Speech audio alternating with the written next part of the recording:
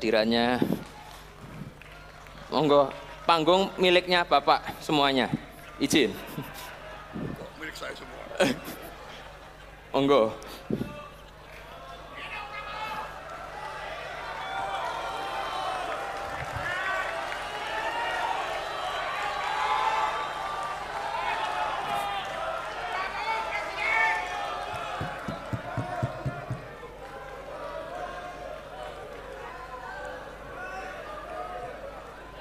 Bismillahirrahmanirrahim. Assalamualaikum warahmatullahi wabarakatuh. Salam sejahtera bagi kita sekalian. Shalom, Om Swastiastu. Namo Buddhaya, salam kebajikan, selamat malam saudara-saudara sekalian. Tadi berapa kali saya ditanya apakah saya hadir atau tidak. Dan saya katakan kalau PSI yang undang pasti saya hadir.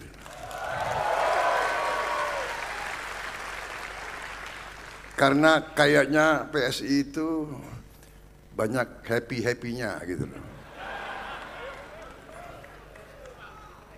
Ada musik nggak kira-kiranya?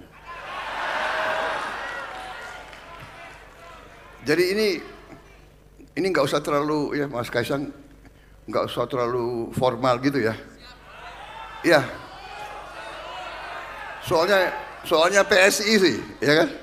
PSI agak rileks sedikit kan? Benar nggak? Banyak banyak anak-anak mudanya. Jadi kalau terlalu banyak politik dibikin terlalu serius, ya kan? Terlalu tegang, capek kita, benar nggak? Kita santai aja, bagaimana? Gila, mana saya punya staff, aku nggak dikasih, gue nggak dikasih, nggak dikasih pointers. Oh, ini belum sambutan. Oh, ada lagi sambutannya. Ini, ah ini nih ada yang saya hormati, yang saya hormati, saya hormati. Saya hormati.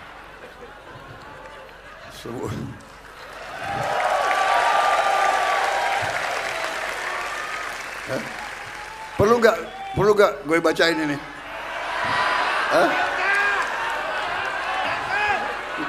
Nanti tersinggung. Ketua umum tersinggung, sekjen tersinggung. Nanti ninggalin koalisi. Awas lo ya.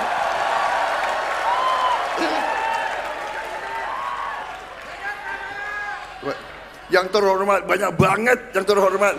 Pokoknya semuanya. Semuanya yang saya hormati, saya banggakan, saya cintai. Ya. Semua tokoh, semua anak bangsa Indonesia yang hadir di sini dan mungkin yang nonton, selamat malam dan terima kasih undangan ini. Saya hanya ingin mengatakan, menyampaikan terima kasih atas dukungan dari PSI. Ini memang saya tunggu-tunggu. Kapan ini? Ya kan? Udah mepet besok udah mau daftar. Iya. Betul gak? Kakanda udah kita deklarasikan sama kita, ya kan? Kalau adiknya enggak ya kebangetan itu.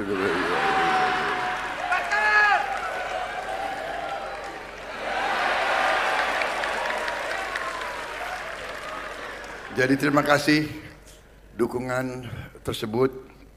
Kita semua sebagai anak bangsa memiliki tugas dan tanggung jawab untuk menentukan masa depan bangsa Indonesia. Saya berkeyakinan setelah saya bergabung dengan Pak Joko Widodo, setelah setelah saya bekerja di bawah kepemimpinan beliau, setelah saya lihat dari dekat keputusan-keputusan beliau, pemikiran-pemikiran beliau, kebijakan-kebijakan beliau, saya merasa pilihan saya untuk bergabung tidak salah dan adalah keputusan yang tepat.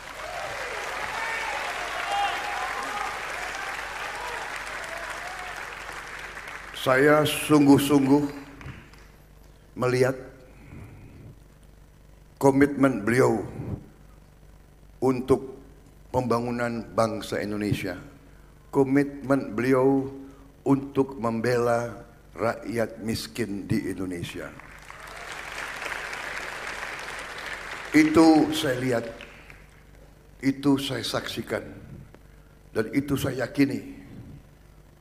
Dan saya melihat banyak strategi, banyak arah yang paling strategik adalah sama, seiring, sejalan dengan pemahaman saya dan pemahaman kawan-kawan saya di Partai Gerakan Indonesia Raya. Dan saya yakin sama dengan sahabat-sahabat kita yang berada di koalisi Indonesia Maju. Karena saya kenal mereka lama. Saya kenal mereka lama. Pak Edi Suparno yang mewakili PAN saya kenal sudah belasan tahun. Pak Yusril saya kenal puluhan tahun.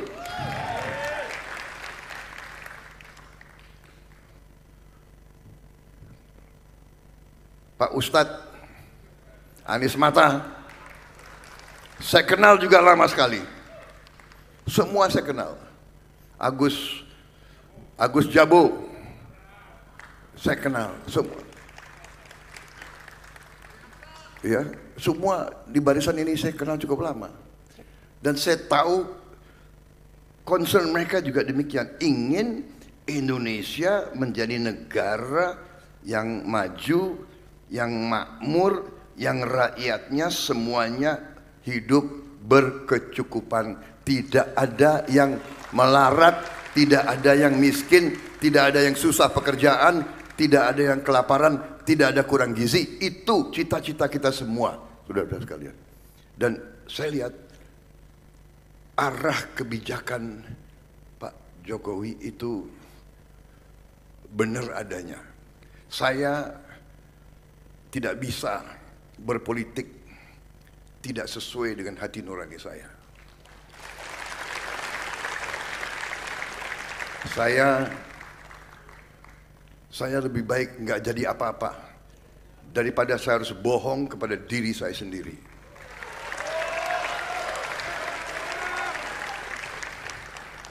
Saya percaya bahwa landasan yang telah beliau bangun selama ini, landasan yang benar, landasan yang solid, dan saya sangat optimis setelah saya mempelajari semua data, semua fakta, semua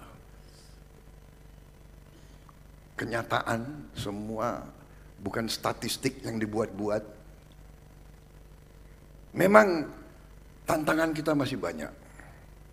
Kesulitan masih banyak, kekurangan masih banyak. Kekurangan masih banyak. Tetapi arahnya, strateginya, upayanya, sudah benar, landasannya sudah benar. Saudara-saudara sekalian,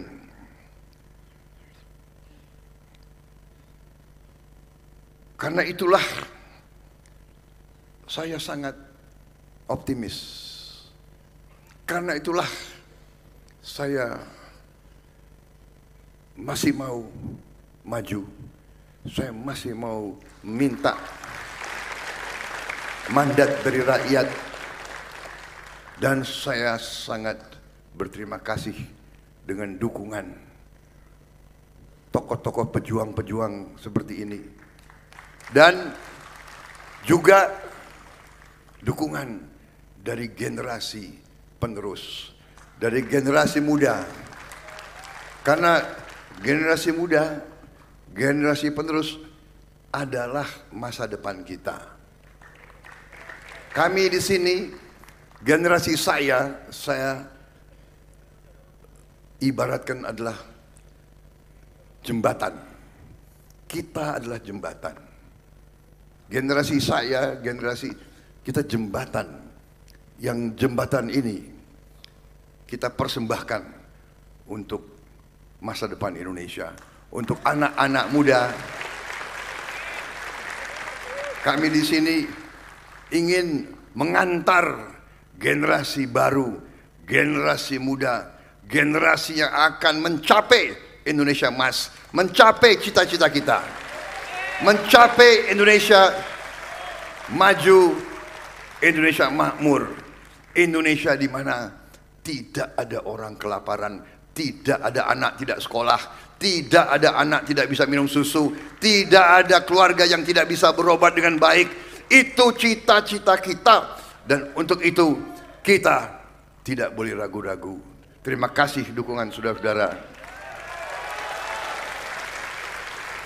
Kita berada di jalan yang benar. Kita faham dan kita mengerti. Dan kita terima kasih kita akan maju dengan selalu sopan dan santun. Kita akan maju dengan gembira. Kita akan maju tidak dengan menghardik, tidak dengan menfitnah, tidak dengan menjelek-jelekkan, tidak dengan mencari-cari kelemahan karena kita semua banyak kelemahan, saudara kalian. Saya kira jangan terlalu lama ya saya bicara ini. Eh?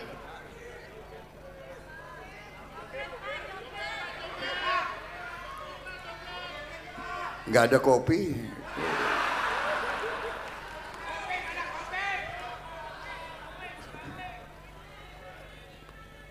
Ada yang mengatakan Pak Prabowo sudah berubah ya, berubah. Ya.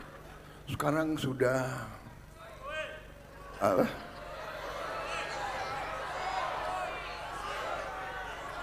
Sekarang sudah sudah banyak bercandanya.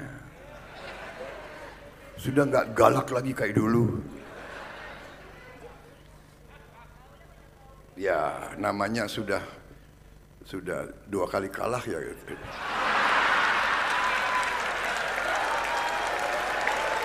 Jadi saudara-saudara benar ini, ini benar ya. Ini pengalaman hidup. Mau nggak? Gue gue nggak boleh kan? Aku dibatasi waktu nggak?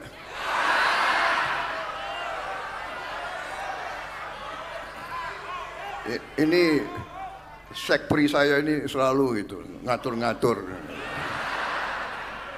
Pak, Bapak pidato jangan terlalu lama, Pak. Gila, yang capres gue.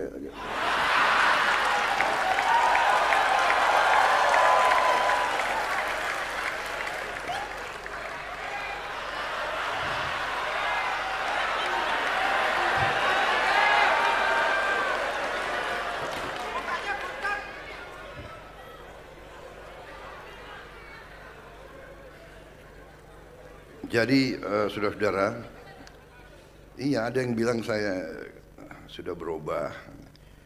Apa? Uh, karena apa? Karena begini. Ini pelajaran, ya. Jadi kadang-kadang memang kita harus mengalami cobaan. Kadang-kadang kekalahan adalah pelajaran yang bagus. Dan kadang-kadang terlalu banyak keberhasilan, ya kan, juga kurang begitu baik. Membuat membuat orang kadang-kadang ya uh, istilah istilah bahasa Jawanya ya, bukan saya bisa bahasa Jawa, tapi kemelinti katanya. Jadi saya saya waktu masih muda, sekarang agak muda. Ya kan? Iya emang emang lo bilang gue tua. Enak aja lo.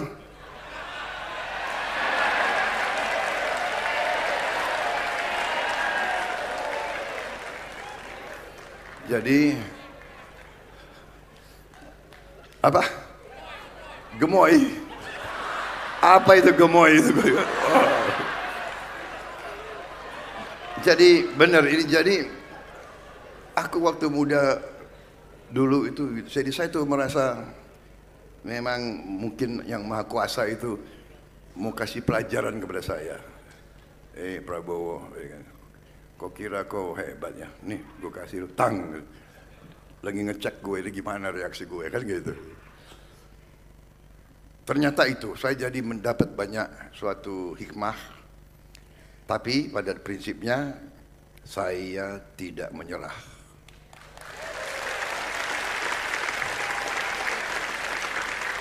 Saya tidak pernah mau putus asa. Saya belajar, tapi selalu fokus saya adalah pengabdian kepada bangsa dan rakyat Indonesia. Dan karena saya lihat Pak Jokowi juga berbuat, berpikir, berpikir, berbuat, bertindak selalu untuk kepentingan bangsa dan rakyat Indonesia. Karena itu saya tidak ragu-ragu, saya bangga, saya tim Joko Widodo, saya tidak ragu-ragu. Kadang-kadang bangsa Indonesia ini sulit menghargai bangsa sendiri. Ya kan? Kita tuh kadang-kadang kadang-kadang tidak bangga dengan bangsa Indonesia sendiri. Pemimpin kita kita kurang hargai, ya kan?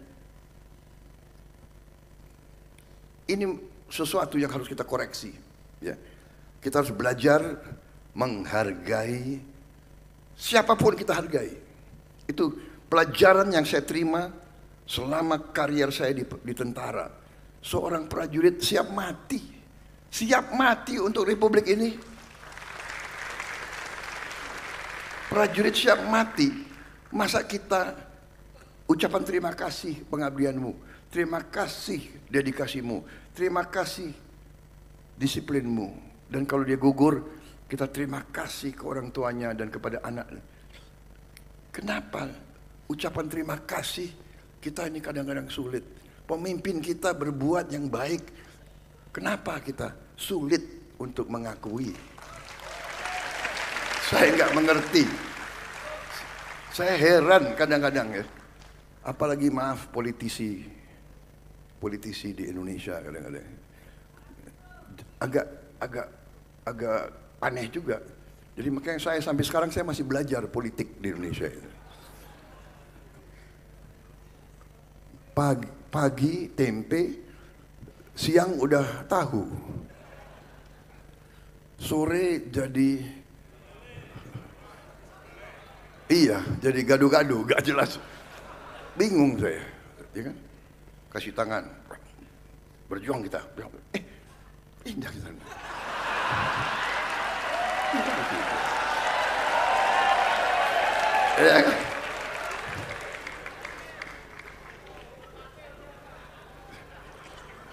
Dan begini ya, seharusnya bangsa Indonesia itu, saya dapat pelajaran dari dari ini boleh ya, enggak Mas Kasang? Sebelum saya dilempar sepatu, saya nggak keluar dari sini. Jadi Kan begitu. Ada gu, kita di, ada guru, ada orang tua, ada mentor, ada pemimpin yang besarkan kita, ya kan? Beri kesempatan kepada kita, yang memberi pangkat, beri jabatan, beri kebaikan, ya kan? Kalau kita di tentara, ya kan? Bintang kita tuh saya kira manusia yang yang waras, yang biasa, yang punya harga diri, kita kan selalu hormat sama guru kita. Kita hormat sebagai mentor kita. Kita hormat sebagai terhadap pemimpin-pemimpin kita yang berjasa kepada kita. Yang membantu kita. Saya tidak bisa lupa itu, semua komandan saya, tidak lupa saya. Walaupun saya sudah menyalip dia, saya sudah jadi jenderal, bekas komandan saya masih kolonel. Saya tetap hormat, saya tetap tunduk, saya tetap sayang, saya tetap saya mengabdi kepada dia. Hormat. Tapi mungkin zaman sekarang nilai-nilai berubah ya. Saya ada yang berpendapat bahwa yang penting yang penting aku bisa boleh boleh saya tidak hormati mentor saya. Boleh saya tidak balas budi guru saya. Boleh saya tidak berterima kasih kepada orang yang membesarkan karier saya. Ada sekarang sifat-sifat seperti itu. Ada. Saya juga lihat orang yang dibesarkan oleh Pak Jokowi, orang yang dibina, orang dikasih kesempatan, ujungnya menjelek-jelekan mentornya, pemimpinnya, saya tidak mengerti. Saya tidak paham. Terus terang saja saya tidak paham. Tapi okelah kita tidak seperti itu. Kita tidak seperti itu dan tidak akan seperti itu. Dan kita serahkan, kita serahkan semua kepada rakyat Indonesia. Silahkan pilih pemimpin yang kau kendaki. Apakah kau akan memilih pemimpin-pemimpin yang ikhlas yang jujur, yang ingin mengabdi kepada bangsa dan negara atau yang lain itu hak rakyat kita sepenuhnya. Saya sekarang bersama dengan Mas Gibran. Ya. Anak muda, ya kan? ada yang mengatakan dinasti, dinasti, politik dinasti apa ya di politik dan di semua bidang kehidupan ya dinasti itu biasa. Saya selalu mengatakan saya ke mana-mana. Orang bilang Prabowo ya itu anaknya Sumitro. Benar itu cucunya Margono. Benar tapi nilai nilai saya dengan apa yang saya buat untuk bangsa negara saya kan begitu. Saya berterima kasih. Saya berterima kasih kepada bapak saya dan kepada eyang saya. Saya berterima kasih. Mereka telah mendidik saya untuk cinta bangsa dan negara Republik Indonesia. Sekarang kalau ada seorang putra ingin berbakti, ingin mengabdi, dicari masalah, dibilang ini, dibilang itu terlalu muda. Tahu-tahu saya juga dibilang terlalu tua.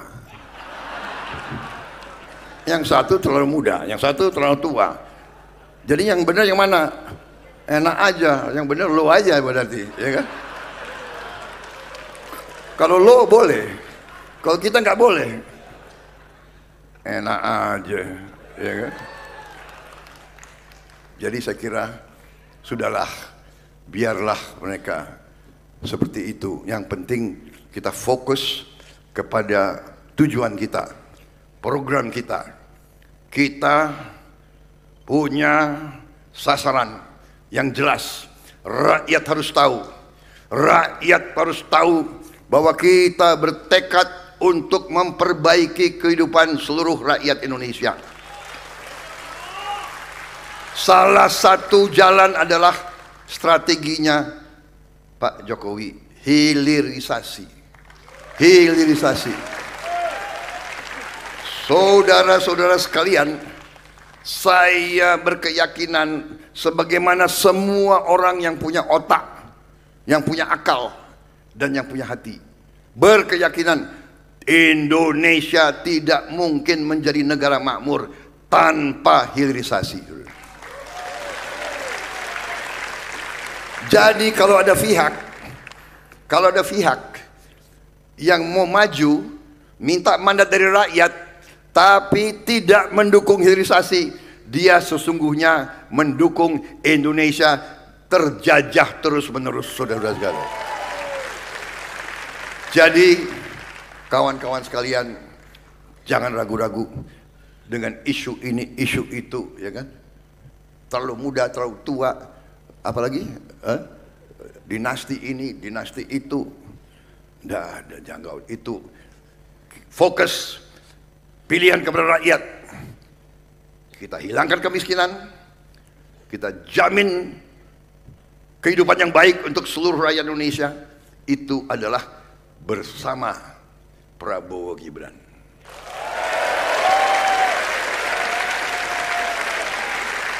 Buk, bukan Prabowo sebagai individu, bukan Gibran sebagai individu, Prabowo sebagai simbol, Gibran sebagai simbol, dua kekuatan merah putih menjadi satu.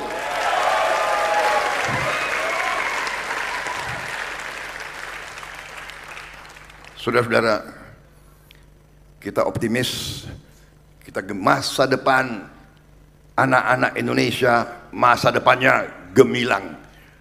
Kita akan membentuk suatu tim pemerintahan yang terdiri dari anak-anak Indonesia yang terbaik tanpa memandang suku, agama, ras, latar belakang yang terbaik itulah yang akan kita cari untuk membawa Indonesia menuju Indonesia Emas 2045. Masa depan kita gemilang, saudara-saudara. Negara kita kaya, kekayaan harus di tangan anak-anak Indonesia, saudara-saudara sekalian. Kami, kami adalah jembatan. Kami adalah jembatan. Kami rela diinjek agar generasi muda akan maju membawa Indonesia menjadi bangsa terhormat, bangsa berdiri di atas kaki kita sendiri, bangsa produktif, bangsa di mana tidak ada kemiskinan. Demikian yang ingin saya sampaikan pada malam hari ini. Wassalamualaikum warahmatullahi wabarakatuh.